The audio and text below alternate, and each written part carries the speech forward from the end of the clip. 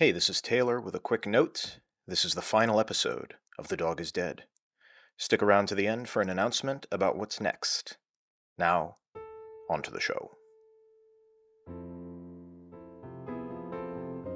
The dog is dead? That's what it's called. It's not all there. You shout to her from across the massive living room into the massive kitchen, and my god, what a huge old house her Uncle Jeff has. You click a button and turn on the fireplace. It's electric, and marvel. In the three years you've been with Paris, she's never mentioned this place, but with her going back to school, it's been hard to spend time together, and it's a good way to make some extra money. Watching his house while he's away for the Christmas break seemed like a great time to get away. God knows you need it.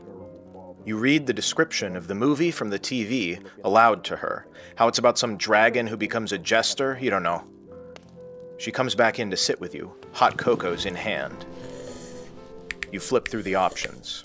There's a memorial documentary of the bridge bombing, every season of Agent Aussie Joe. How old is that show? There's some black and white movie about pirates.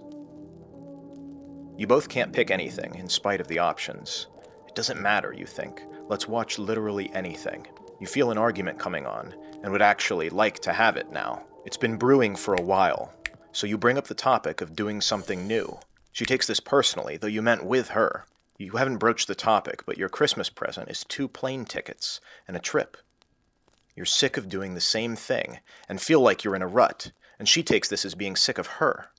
She says it doesn't sound like you want adventure, it sounds like you want options. Before you can retort, there's a knock at the door, and an old man, probably in his 80s, opens it without a response. He leaves the door open, a slice of pizza in his hand and an open box of pizza in the other. You get up to close the door, since it's cold, and he apologizes, saying he knows Jeff is gone, but he stops over every night for pizza, and is sure Jeff wouldn't mind. Even on Christmas Eve. He's just a good neighbor. You want to ask him to leave, to keep the other conversation going, but she invites him in and he sits on the couch between you two, looking at the TV. Oh, he says, there's a documentary about this new artificial intelligence. Oh, look, it's that superhero show. And she says, yeah, that's based on a comic her friend made. You shoot eyes at her, but she asks more about his life, avoiding the problem. You request to talk to her in the kitchen, and she says she wants to stay and listen to this nice man, and so you huff out past the kitchen to the patio area. You yell back and say, It's important, and he can stay there and watch whatever he wants. She follows you, and you close the door, shivering on the patio. Where's this going? What do you want? You don't want to spoil your present, but this is absurd. Why is she more concerned with talking to this guy? She says he's obviously lonely, don't you understand? You accuse her of purposefully ignoring the issue. She says you've been ignoring issues. She's been trying and hesitant to tell you, but it's things with her mom, and she's really worried, and the rehab isn't working, and yeah, her mom's across the state, but she just needs to spend more time with her. She's asking you to be involved. It's not unreasonable. You care about her mom, obviously. You don't tell her this, but having another person, another distraction, what's that going to do to you all? You say, what are you, what are you doing about things together? About how you're already strained enough just to get a week and you're watching a stranger's house, for God's sakes. You feel trapped, and it's turning from arguing to yelling. So if she wants to hang out with the old pizza neighbor and watch some stupid movie about a dragon, go ahead. This was supposed to be about us. You huff off the porch, around the side of the house, and walk through this crummy, opulent neighborhood alone. You see some carolers and give them a nod, but they ask you to join them.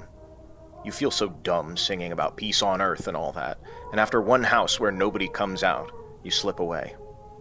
You just need some time to think, and you walk around for a bit. You look at all these huge old houses and feel claustrophobic. You want adventure. You're both 29, and you should be open to making big changes, not stuck in boring suburban decisions. Look at these monstrous homes. You bet if these people get robbed, they wouldn't even notice. You loop back around the cul de sac, and the carolers are helping some family reverse their RV, and they ask you to help again. What is it with people and Christmas cheer? You pull out your phone and call her, now that you've been gone for a bit. Maybe too long. There's no response. On to voicemail. Come on. You leave a voicemail when explaining how you feel, and maybe you think too differently and have different ideas of what you want from this. It's a bad decision. You should just go talk to her.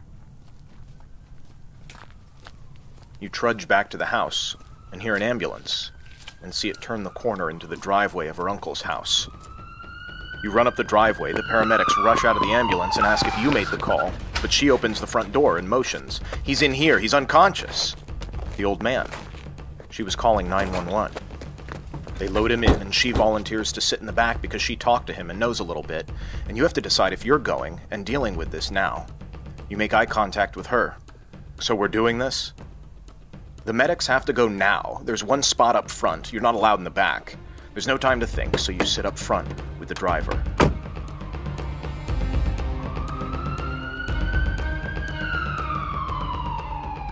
You're in the passenger seat of the ambulance, and she's helping out the medics and comforting the old man. And in the back of your mind, you hope she doesn't look at her phone. She doesn't need this right now. You can't imagine being alone in that house, watching someone collapse, having to call for help. You should have been there, not sulking around the neighborhood. You try and talk to the ambulance driver, but he's focused, going through the suburb, doesn't give you an inch. You'd message her, but you don't want her to look at her phone and see the voicemail there. You ask if you can radio into the back, or if they can just let you talk to them, but the driver is stone cold. You berate him under your breath, and he mentions how they keep the less stable people in front, and they made the right choice. Man, what a jerk. What is it with people and their lack of Christmas cheer? Gets you worried because you don't know what's going on, and he says not to bother him. You tell him to stop the ambulance, and he says he can't, and how dare you? You feel trapped even more so than in that giant house or in this winding neighborhood, and this is the last place you want to be on Christmas Eve. You unroll the window and yank your head out, but duh, there's no windows on the side of the ambulance. You try slapping the side of the vehicle, even more frustrated, but he yanks you back in. You try and knock on the panel behind you in the cab, but it's covered for privacy, and he won't let you slide it open. At the stop sign, you open the door and jump out, but they don't stop, and they drive off. You run down the block, back to your car, at her uncle's giant house, and speed to the hospital. At the emergency entrance, you see the doors to an ambulance fling open, and you park and sprint up. When you get to them, she's there beside the gurney, smiling, joking, having a grand old time. She says the man fainted, and he thinks it's because of not taking medicine. They laugh about the pizza, though, and you think, how can she be so flippant? The medics recognize you. They ask you to follow them to security, and they escort you and her into the waiting room. You get up to the desk, and they shove papers into your hands. Paris pulls you aside and tells you she signed you off as kin because he whispered he doesn't want to be alone. They already knew she wasn't family, and it's great you flipped out in the front seat, because now the story about how much you care for him as a son checks out. She winks and smiles, clearly enjoying all of this. You have to stay there until he's cleared with the tests for whatever happened. You're stuck in this waiting room. You just want to talk to her about what happened back at the house, but some lady in all pink sits beside you. Oh my god, it's Mrs. Simmons, the old bus driver, she says. You don't trust somebody in all pink, or recognize this woman, because she wasn't your bus driver. But Paris shouts and beams, and they hug, and she asks you to scoot over as they talk like old friends. How does she know so many people in this town? And in the hospital, on Christmas Eve? Feels like she's avoiding you. You just want to get out of here. Shouldn't you be watching the house? You ask her about leaving the waiting room, but now Paris is playing hide and seek with a little kid, pretending not to notice him under the legs of a chair. She makes the silly excuse about how you can't just leave, because then he's going to be hidden forever. She smiles and says how much more fun this is than watching some dragon becoming a jester, eh? And it is fun, because she's here. She says she's glad you're here, and that your dad, winking about the old man, is probably going to be okay. She asks if you can help find the kid, and a nurse says you can go see your father in this room in the Trevor wing. Paris points out how cool this semi empty hospital is, wheeling a cart that clearly isn't for her to wheel. You're almost upset because you need to start the conversation again, but she seems so comfortable here. She goes to hide, running around the corner, giggling. You stare at the sign for the Trevor wing, and how nobody knows how these things get named. You read the plaque on the wall, and want to tell Paris the story about it. You creep around the halls, looking for her, and then actually forget the room number to go to. A nurse confronts you, asking what room you're looking for, or what's the patient's name, and you don't remember that either. Paris army crawls from under a gurney and saves you, grabbing your hand, and you head down the hall. She peers into the old man's room, but you pause her and say you have to talk. She starts before you can. She's sorry if this is ruining your Christmas Eve, but you know her best friend, right? And there was this thing that happened to her as a little kid, and it's just very important to her to be with people when they're alone. You don't know what she's talking about. Before you can ask, she says, Hold on! And she answers her phone. She says, Hi, Mom. Merry Christmas Eve. Well, now, Merry Christmas. And walks away, shooing you into the room. You step inside, and there's the old guy, laying there. You sit next to him and he watches TV, joking about how it was just the medicine, or maybe he eats too much pizza. But Jeff likes it. He rambles about that house in the neighborhood. Now he's lived there his whole life and seen so many people come and go from that big house.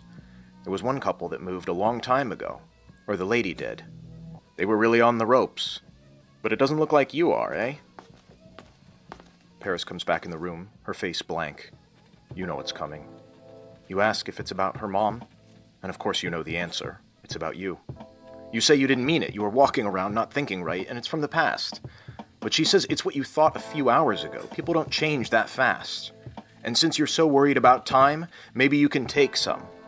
Don't drive her, and she's gonna get a cab. And she's gone. Is this what you wanted? Is this an adventure worth having? She cares about everyone so much. Maybe you don't care about anything at all. Maybe you're the one ignoring the issue. You stay quiet, the stupid old man and the TV, and watch some stupid movie about a stupid dragon.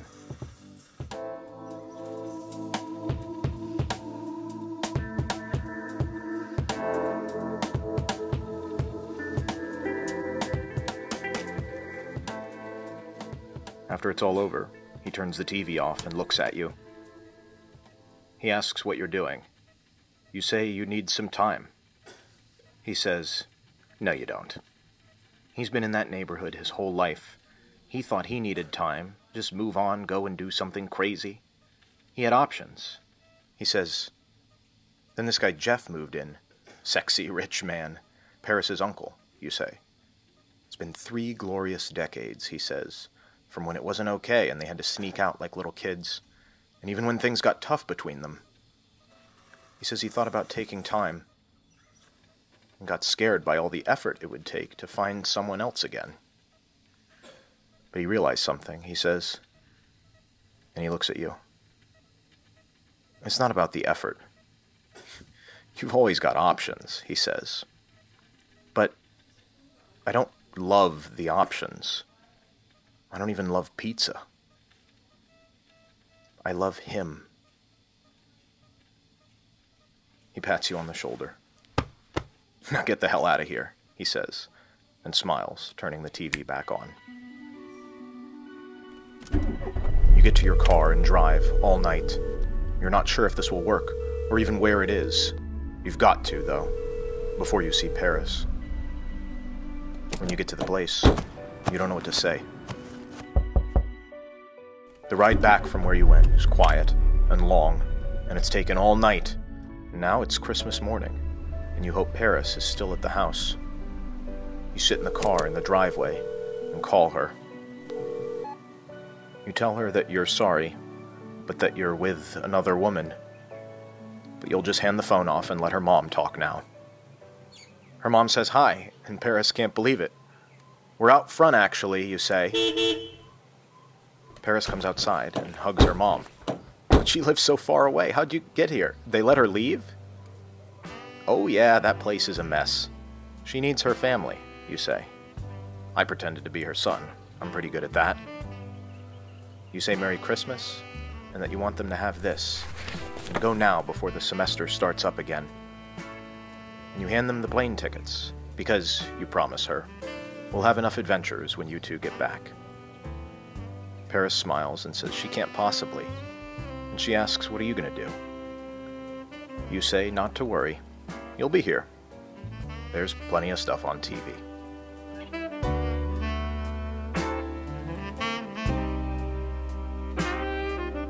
Thanks so much for listening. The Dog is Dead is written by me, Taylor Zabloski, at a table in the public library, recorded under a blanket in my closet, and edited in a fast food restaurant booth with the nearest power outlet. There will be one more part coming soon, explaining all the connections and timeline for the episodes, because if you haven't heard anything about it yet, every episode is intertwined as part of one big universe. Go back and listen through if you'd like, and see if you can spot how each of them fits together. Anyways, thanks again for listening, and be on the lookout for that final epilogue soon.